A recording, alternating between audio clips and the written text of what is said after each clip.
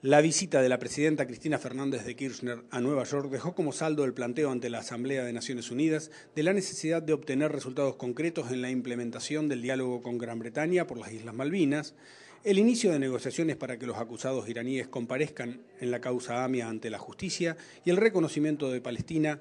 como Estado miembro de ese organismo multilateral. También hubo anuncios de inversiones de Exxon, AE y Apache por 1.150 millones de dólares en la República Argentina. La mandataria emprendió anoche el retorno a Buenos Aires, donde hoy retomará sus actividades oficiales.